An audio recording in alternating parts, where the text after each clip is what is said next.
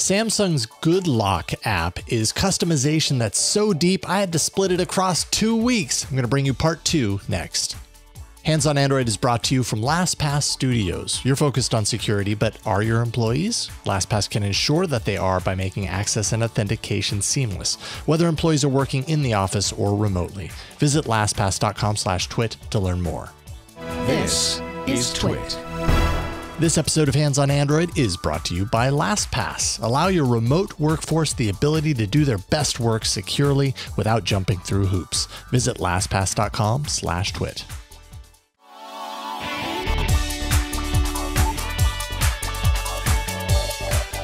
everyone. Welcome to Hands on Android. I'm Jason Howell. Last week on the show, I was taking a look at the Z Fold 2 and a particular app that Samsung has in its own Galaxy store called Good Lock. This is an app that allows you to customize your Samsung devices in crazy ways, like all across the map. If you think it, you can probably do it, or at least you can have some sort of customization into it on Samsung devices. There's so much in there, in fact, that I couldn't fit it all into one episode. So today, I'm bringing you part two of my deep dive into Samsung Good Lock.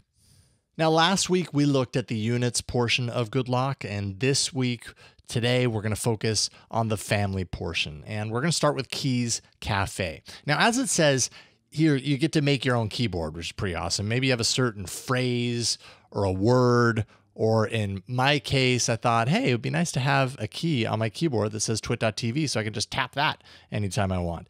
Uh, you can go ahead and insert that into your keyboard and it makes inserting that into messages way easier. Or perhaps maybe there's a symbol that's missing from the symbol portion of the keyboard that you use all the time. It's not included in the default keyboard layout. Well, you can scroll through the many options, there are tons of them, and find space for it and drop it down there. Uh, maybe you just want to see what you can do to really mess with people's minds and create a Frankenstein inspired keyboard with everything that's totally out of order. I don't know. You can have a lot of fun with it. That's all I'm saying. All of that is possible here with a simple drag and drop interface, and that brings your preferred functions into the layout, and then you can also take them back out if you ever get bored of it.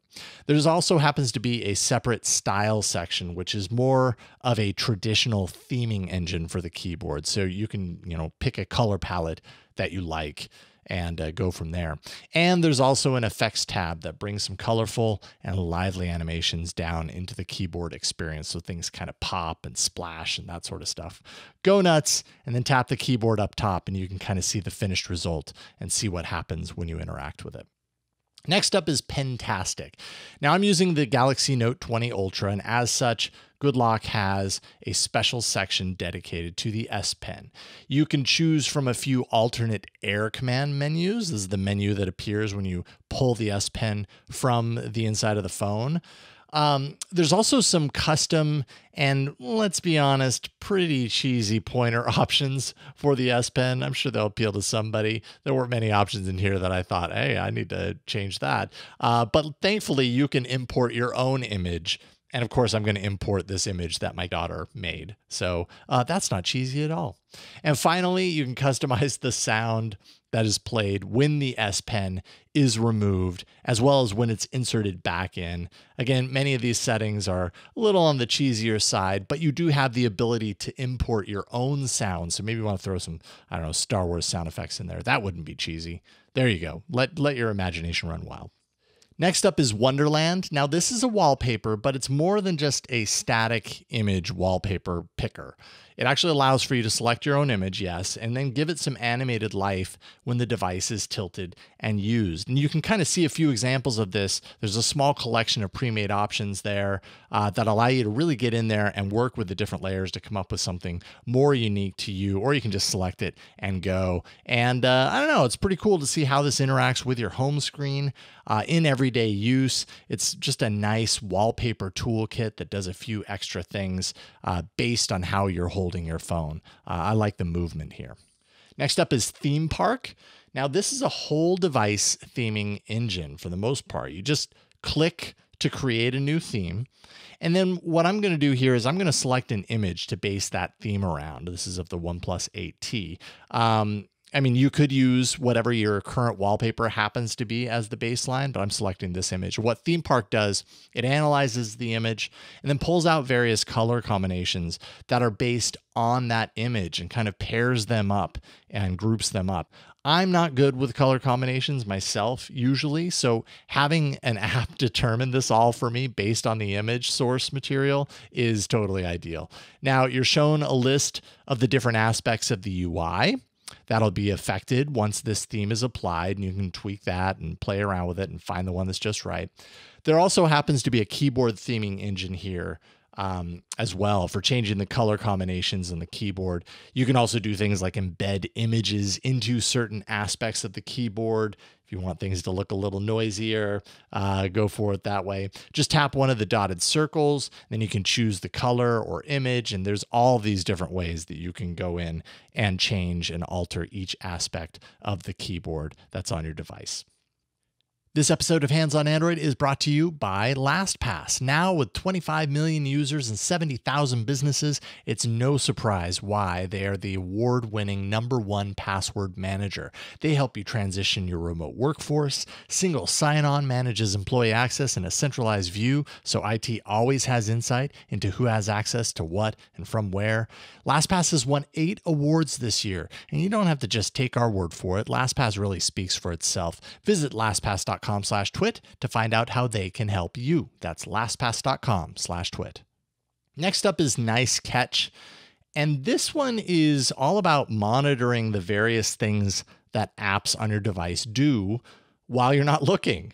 And it attempts to catch them uh, in the act, which is, you know, probably why they called it Nice Catch, which isn't to say that all of this activity is inherently bad, just that you might want to know what's going on. And now you can. You can use this to find out. For instance, which apps have made a vibration event on your device and when? Uh, maybe there are some apps that are just really, really heavy with the vibration, or one happened and you lost track of it. Here you can see the history. Or apps that have woken the screen from sleep. That can be very helpful uh, to see which apps are doing this all the time. Maybe it's a drain on battery. It can detect when an app shows an ad after you unlock your device, which is something that doesn't happen a whole lot to me, anyways. But if it does to you, you're going to love that feature. Uh, many of these actually didn't apply to the apps that I have installed on my Note 20 Ultra, but it's definitely worth taking a look at uh, in any case. If anything, you get a better sense of how some apps are operating behind the scenes. One handed operation plus. All right, this one is pretty self explanatory, especially on a device as large as the Note 20 Ultra. One handed operation isn't always easy to do on a device this big. Uh, so, this one handed operation plus actually creates wide bars on the sides of the display that should be easier for your one hand, maybe it's your thumb, to swipe in from. Now you can swipe straight, you can swipe diagonal up and diagonal down. And you can set each of those to a different action. It could be navigation or really any shortcut that you like. There's a whole bunch of options that you can pick from. There are adjustments for creating a larger or a smaller bar to be drawing that swipe from. You can position it wherever on the sides that you choose. And some apps might not actually like this kind of interaction. This might get in the way. So there is a way to hide the controls on a per app basis. If you find an app that doesn't play nice with this, you can just put it in there and this feature will not be running when you're using that app. Next up is Edge Lighting Plus. Now, this is a nice, subtle animation that you've probably seen before. It happens around the border of the display on the device when a notification appears and the display happens to be off. It's kind of like a little laser shot sort of thing. Here, you can customize what exactly happens on a deeper level than you could normally. It could be as simple as a single blue line, or it could, you know, echo with multiple lines edging their way inward, or a big blue bubble that just kind of pulsates outward from the top a whole bunch of options here, and you can find uh, a number of different options to choose from and just kind of bring some life to your display when it's off and a notification comes in. There also happen to be controls to adjust the thickness of those elements, how long they appear for, and any sort of transparency. Do they let the background through um, or do they overtake it completely? Uh, lots of controls. And on the Edge tip, we've got Edge Touch. Uh, if you've ever heard of the complaints, and I know I'm guilty of this, about unwanted touches registered on devices that happen to have curved displays is really easy to accidentally touch the, the edge of a curved display and have it register a touch. And like, I didn't mean to do that. It launched an app or whatever it did. Well, Edge Touch is a way to customize a touch free zone on any device but I'd say it's really useful on those curved display devices. Uh, you, you can set up initially a blocked zone uh, by dragging this like mover button around. This zone is going to register no touch when Edge Touch is running. Anything within this zone will not register. Grip Zone is a secondary section. Uh, kind of, it's almost like this expands it a little bit. It won't register a touch if the device knows it's being actively held at the moment. So then it knows it's in your hand. Maybe you're more likely to touch even further in from that initial blocked zone this will reject that if it knows it's in your hand. And you can set different zones for landscape view as well. And finally, Sound Assistant. This one has everything to do, duh, with the sound on your device. Uh, you can craft your own custom volume panel theme, so it doesn't only appear up top in a sliver the way it does by default on the Note 20 Ultra, at least in one example. If you want it coming out of the side, you can do that. Um, you can allow for volumes to be set on a per app basis. So maybe there's an app that you launch and man, the volume is just, it's ear piercingly loud when you launch the app and you just want to knock that down to a sane level. Or maybe you want it that ear piercingly loud and you want other apps to be quieter. Whatever the case, you can set those on a per app basis. Um, you can also adjust how quickly the volume is adjusted when you hold the volume rocker down. And then there's a couple of features dealing with multi apps and multi sound. Multi sound is a feature that allows you to set apps so that they can play sound while another app is in use. So multitasking really comes into play here again. That's a nice feature. Separate app sound allows you to isolate one app's audio into something like a Bluetooth device while other apps still output sound on the phone itself. So you could route maybe your audiobook or your the music that you're listening to just to your Bluetooth speaker and then have your notifications coming out of the phone. I'm sure you could come up with a, a scenario uh, as to why you would want to do that.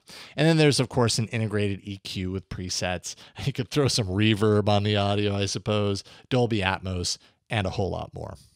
And really when you're talking about Good Lock, it's all about and a whole lot more because there's so much in there. I did not touch on everything. I mean, there are so many features in here. You really just kind of got to get in there and play around and and you'll surely find some things you'd be like, God, I didn't know that existed, but this is a lifesaver for me. Or it just makes your device a little bit more fun, a little bit more you. That's what customization is all about. And the good thing is, we've seen over the last few years that Samsung regularly adds new modules into Good Lock. So the customization capabilities of it expand uh, all the time. So have it installed. You'll see when new modules appear and uh, open up even more avenues on your Samsung device.